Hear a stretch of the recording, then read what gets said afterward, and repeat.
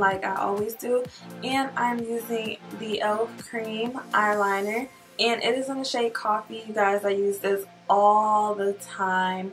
And if I do ever change up anything on my brow routine, I will definitely update you guys with a updated brow tutorial. I'm using this BH Cosmetic 107 angled brush that came in a whole brush set.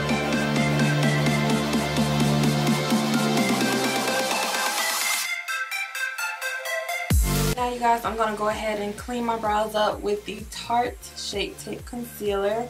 And this is in the shade Tan Sand. Also cleaning them up with this BH Cosmetic flat, I think this is an eyeshadow brush. But I use it to clean my brows up. I use it as a concealer brush. and I think it's a 102 brush that also came in the whole set. Um, I'm just leave the link down for you guys if any of you are interested.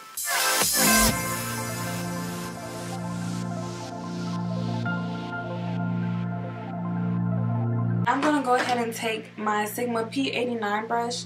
Um, I love this brush so much, y'all, to uh, clean up concealer around your brows. Like, it's the perfect size. It blends everything out so nicely.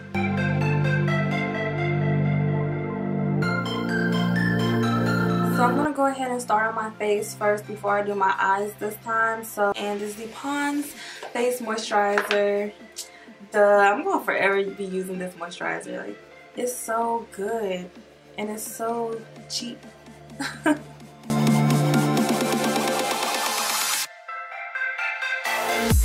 so next I'm just going to apply my foundation. Someone said um, in the comments, why don't you ever prime? I used primers before. Um, I used the NYX primer. I used two different NYX primers before and I don't know, I just didn't see a huge difference in my makeup.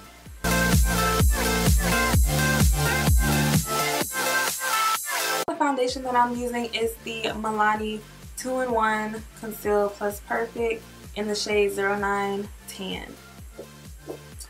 But yeah, you guys, if you have a primer or just any makeup product that you guys want me to try out just to get my opinion on it, please let me know down in the comments. Okay you guys, so I would usually use a beauty blender to blend all this out, but today I'm using this new Sigma 3D HD Max Kabuki brush.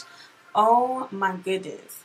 Y'all, this brush is so amazing. I haven't used a brush to blend out my foundation in so long. You guys see? Like, you don't have no streaks, no nothing. It's very dense and I feel like that's why it's blending it out very, very well. And it still gives you like that flawless finish. Obsessed.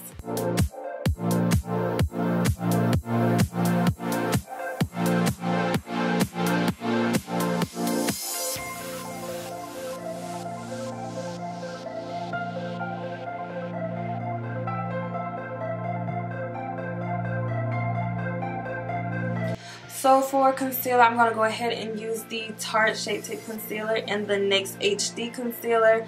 Um, I used the NYX one just to highlight under my eyes a little bit more. And the Tarte Concealer is in the shade Tan Sand and the NYX Concealer is in the shade Beige.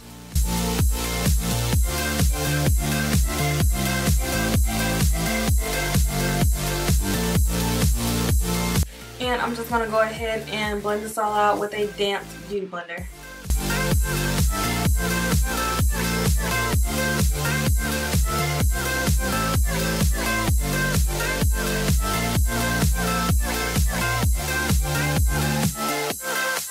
Alright you guys, so I'm going to go ahead and cream contour as well just because I feel like cream contouring. The Wet n Wild Makeup contour stick, yeah, the contour stick and um, it's in the shade Where's Walnut.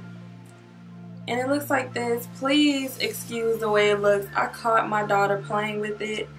So, yeah, and I picked this up from Target. You can find it at any drugstore. And I really like this product, you guys. It's so, so creamy. It blends out really, really good.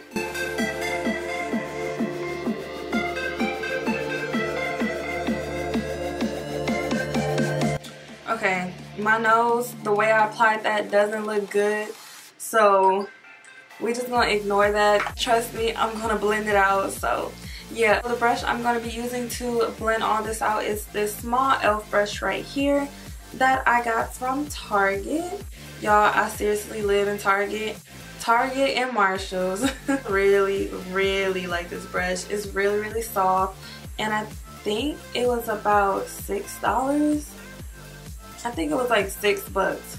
And I really think it's a great brush to blend out cream contours. Look at that. Already done. Like, I love this shade of the cream contour stick.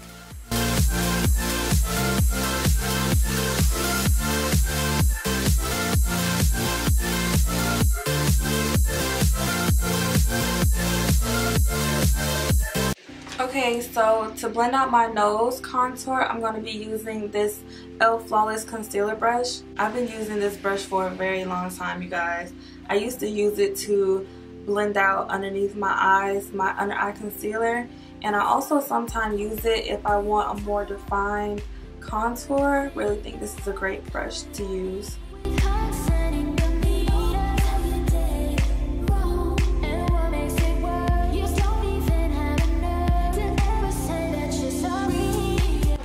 Bit more from the contour stick because I want my nose to look snatched.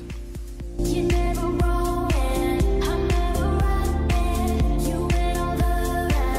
gonna go ahead and set my under eye with my airspun powder and I also mixed in some midnight banana powder in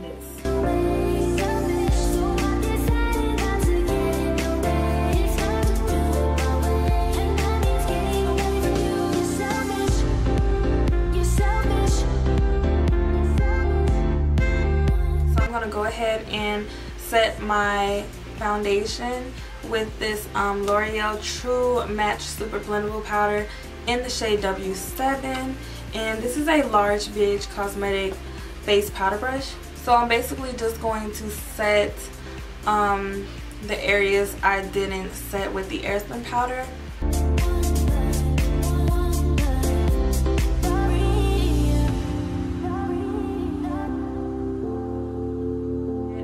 bronze up my skin and I'm going to be using this Wet n Wild pressed face powder and it's in the shade Dark Cafe and I'm going to be using this BH Cosmetic brush. I have a lot of BH Cosmetic brushes.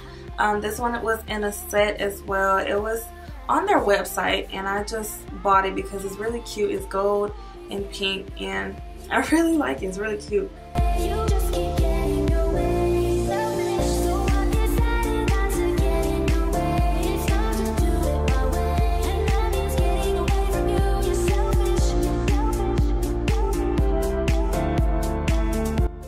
Blush, I'm going to be using the Makeup Revolution, the matte blush. And this one is in the shade Nude. My Real Techniques blush brush. I'm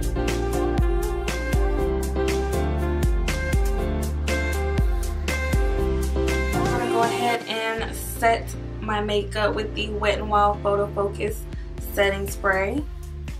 And I love this setting spray, you guys. Oh my gosh, it gives such a dewy finish.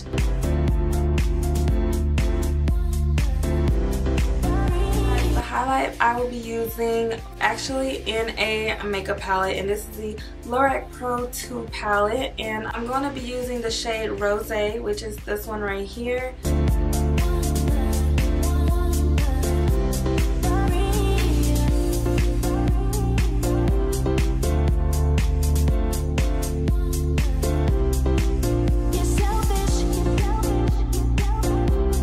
Guys. That is it for skin. I'm to go ahead and zoom in for you all so i can go ahead and start on my eyes. And yeah. So to start off on my eyes i'm to go ahead and prime them using the NYX HD concealer in beige. I'm to blend it all over my eyes with my P89 brush from Sigma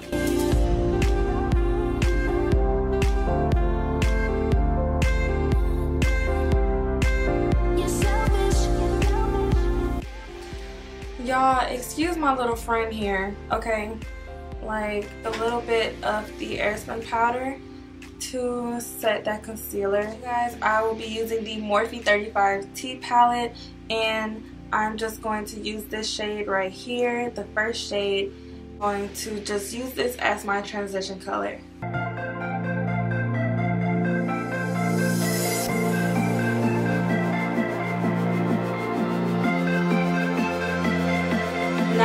Ahead and take this reddish brown shade right here and I'm just going to apply this in my crease.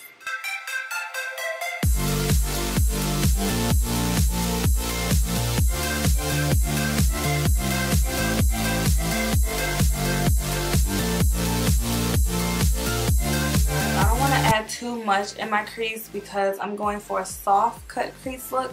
So now I'm going to go ahead and cut my crease with the e.l.f. HD Lifting Concealer which looks like this.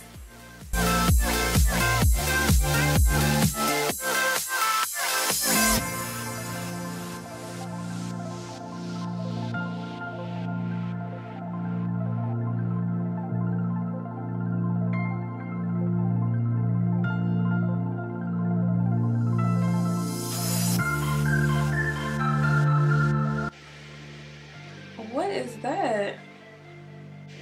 Sorry y'all. Whatever was on my forehead, that was um, some gel. Okay, so for lid color, I don't know if I want to do a shimmery color or a matte color, but I think I'm going to do a matte, you guys. I'm just going to do a matte beige color. And the one I'm going to use is the beige shade right here in the Lorac Pro 2 palette. And I'm just going to apply this all over my lid.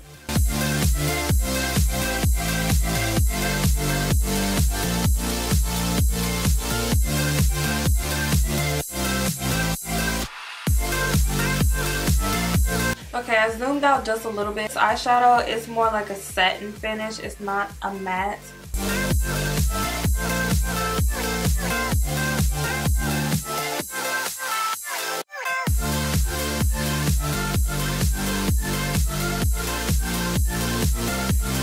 Go ahead and do a wing and I'm using the Wet n Wild Mega Liner which looks like this. And I have to bring the mirror like really, really close or else I wouldn't be able to do this.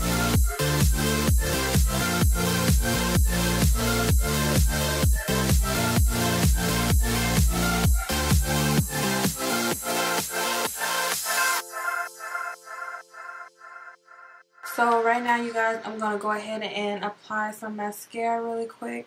And this is the L'Oreal Lash Paradise Mascara. I'm going to go ahead and apply my lashes.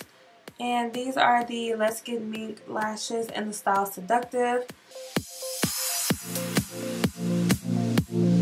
So to finish off my eyes, I'm going to be taking the same shade that I use as my transition color.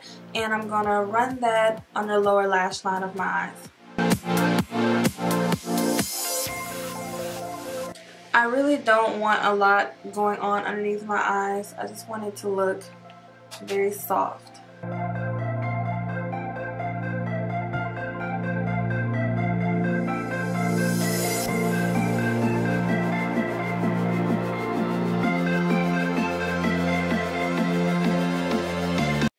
So for lips, you guys, I'm going to go ahead and align my lips with a brown lip liner.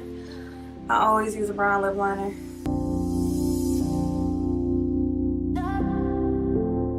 So the first lipstick I'm going to apply is the Wet n Wild Liquid Catsuit in a Rebel Rose.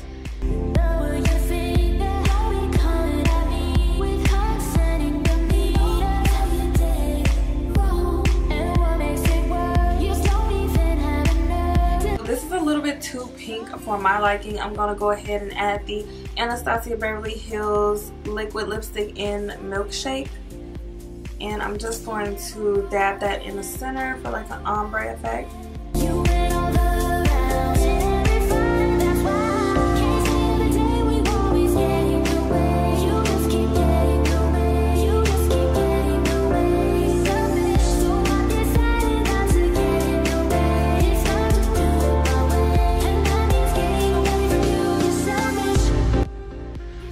So this is the finished look, you guys. I hope you all enjoyed this tutorial right here. And if you did make sure to hit that like button for me and subscribe to my channel. I love you guys so much. Thank you so much for watching. And I will see you all in my next video. Bye